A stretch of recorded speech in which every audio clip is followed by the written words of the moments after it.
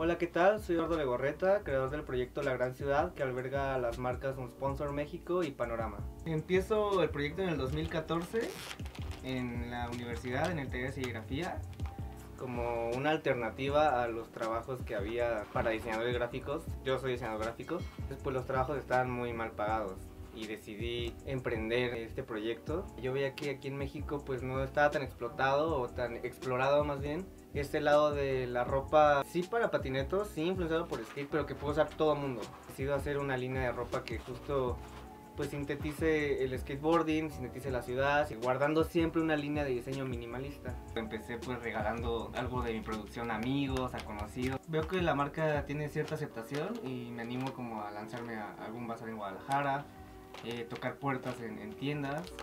Y a la fecha pues ya son siete años de estar pues picando piedra, una serie de altibajos y, y de vergazos, sea, es parte de... Y afortunadamente ahorita pues ya se venden en algunas skate shops de aquí de la ciudad eh, bastante importantes, en otras tiendas en Cancún, Veracruz, Michoacán también. He logrado como abrirme pues, un poquito de espacio ahí entre este mundo tan monstruoso de marcas.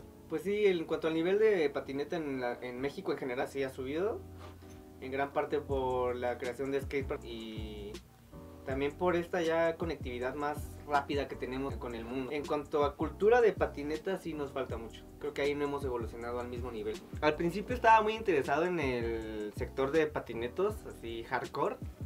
Pero con el paso del tiempo pues me di cuenta que puedo abarcar más gente. Entonces ahorita la marca está dirigida principalmente a jóvenes entre 21 y 35 años que no solo les guste la patineta, sino también eh, disfruten de la fotografía, del graffiti, del diseño gráfico, de la ilustración. Y últimamente me he enfocado más en crear prendas que sean atemporales, que no importa qué es lo que esté de moda, sino siempre te la puedas poner y se va a ver bien. Panorama se crea porque conforme fui como subiendo lo que hacía en redes sociales, pues me decía, eh, ¿qué pedo? ¿Y las morras para cuándo, güey? ¿Por qué te olvidas de las morras, no?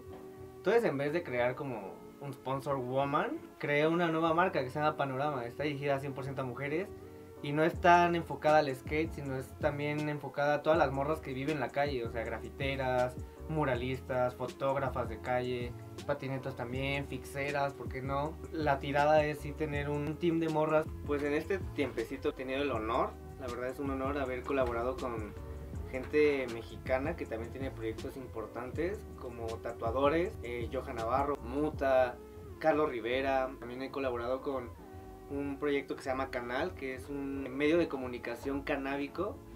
Y también he colaborado con un restaurante que se llama Rabioso, está en el centro de la ciudad. Si pueden ir a visitarlo estaría chido, tiene un bowl DIY. E intento con cada colaboración crear un evento en el que la gente se lleve una experiencia chida de, de lo que está pasando con la marca. He procurado que mi marca tenga una serie de diferenciadores respecto a las demás. Una de ellas sería que tengo una línea de prendas básica que se produce en cantidad ilimitada durante todo el año y estas prendas pues solamente portan el logotipo de una forma discreta.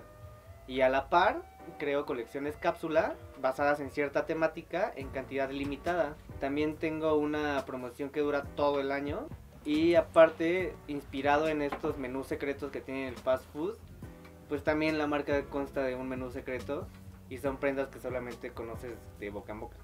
Ahorita estoy junto con amigos que patinan preparando un video largo que pienso proyectarlo en diferentes paredes de la Ciudad de México. A mí me gustaría hacer un evento y proyectarlo en una fiesta y dar chupe, bla bla bla. Pero pues por las condiciones que estamos viviendo creo que es algo irresponsable. Entonces pienso darle un giro y proyectarlo así al aire libre sin anunciar nada, como muy espontáneo. También vienen algunas colaboraciones importantes con otros proyectos grandes de ropa que hay en México. Estoy del lado de lo impreso, 100%, porque me parece que es algo que trasciende.